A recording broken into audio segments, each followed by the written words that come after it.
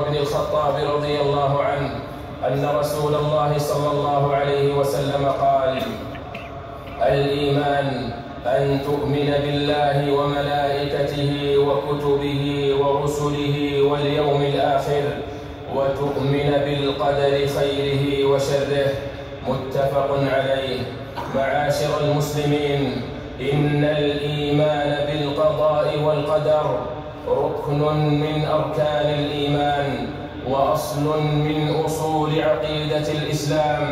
فلا يتم إيمان المسلم حتى يعلم أن كل شيء بقضاء الله وقدره. قال تعالى إنا كل شيء خلقناه بقدر.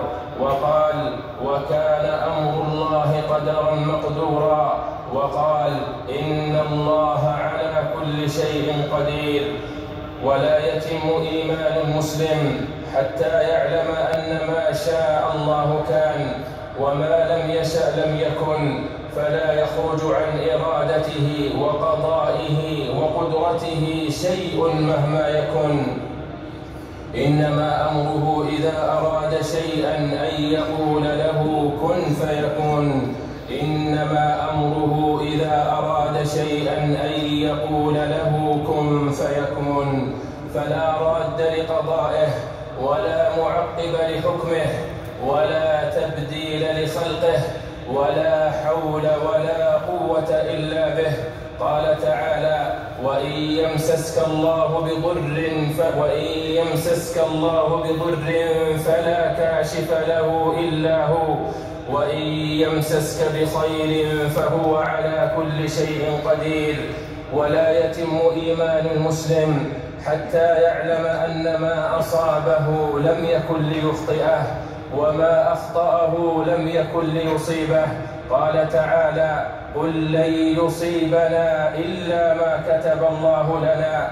وقال ما أصاب من مصيبة في الأرض ولا في أنفسكم إلا في كتاب من قبل أن نبرأها. إن ذلك على الله يسير. وقال ما أصاب من مصيبة إلا بإذن الله ومن يؤمن بالله يهد قلبه. والله بكل شيء عليم. وعن جابر بن عبد الله رضي الله عنه أن رسول الله صلى الله عليه وسلم قال لا يؤمن عبد حتى يؤمن بالقدر خيره وشره حتى يعلم أن ما أصابه لم يكن ليخطئه وأن ما أخطأه لم يكن ليصيبه. رواه الترمذي. عباد الله إن الله تعالى كتب مقادير الخلق قبل أن يخلقهم. فعن عبد الله بن عمرو بن العاص رضي الله عنه أن النبي صلى الله عليه وسلم قال إن الله تعالى كتب مقادير الخلائق قبل أن يخلق السماوات والأرض.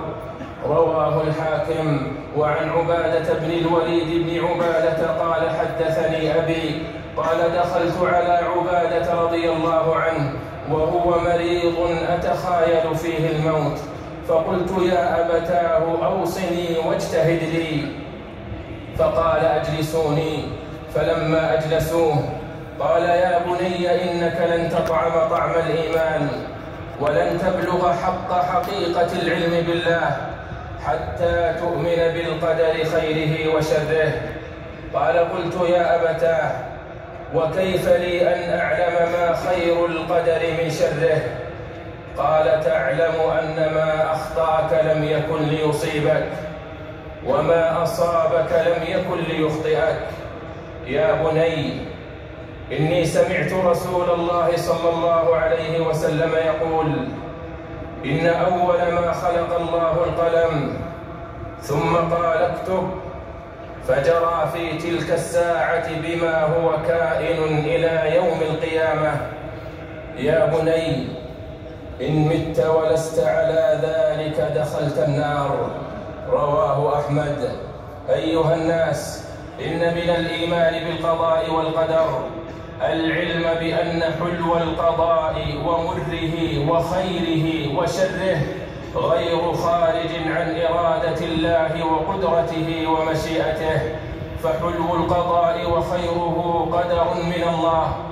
وهو من كرمه سبحانه وفضله ونعمته ومر القضاء وشره قدر من مقدور الله يصيب به من يشاء من عباده. لكن الطاعة سبب للخير لكن الطاعة سبب للخير والمعاصي سبب للشر والجزاء من جنس العمل ولا يظلم ربك أحدا. ذلك بأن الله لم يك مغيرا نعمة أنعمها على قوم حتى يغيروا ما بأنفسهم وأن الله سميع عليم. وما أصابكم من مصيبة فبما كسبت أيديكم. وما أصابكم من مصيبة فبما كسبت أيديكم ويعفو عن كثير. وكل طاعة فبتوفيق من الله. وكل معصية فبخذلان منه والسعيد من سبقت له السعادة والشقي من سبقت له الشقاوة. عن عبد الله بن مسعود رضي الله عنه قال حدثنا رسول الله صلى الله عليه وسلم وهو الصادق المصدوق أن خلق أحدكم يجمع في بطن أمه أربعين يوما أو أربعين ليلة. ثم يكون علقة مثله ثم يكون مضغة مثله ثم يبعث إليه الملك فيؤذن بأربع كلمات فيكتب رزقه وأجله وعمله. وشقي أم سعيد؟ ثم ينفخ فيه الروح فإن أحدكم ليعمل بعمل أهل الجنة حتى لا يكون بينها وبينه إلا ذراع. فيسبق عليه الكتاب فيعمل بعمل أهل النار فيدخل النار. وإن أحدكم ليعمل بعمل أهل النار حتى ما يكون بينها وبينه إلا ذراع. فيسبق عليه الكتاب فيعمل عمل أهل الجنة فيدخلها. متفق عليه. أعوذ بالله من الشيطان الرجيم. يثبت الله الذين آمنوا بالقول الثابت في الحياة الدنيا وفي الآخرة ويضل الله الظالمين ويفعل الله ما يشاء. بارك الله لي ولكم في القرآن العظيم ونفعني وإياكم بما فيه من الآيات والذكر الحكيم. أقول ما تسمعون وأستغفر الله فاستغفروه إنه هو الغفور الرحيم.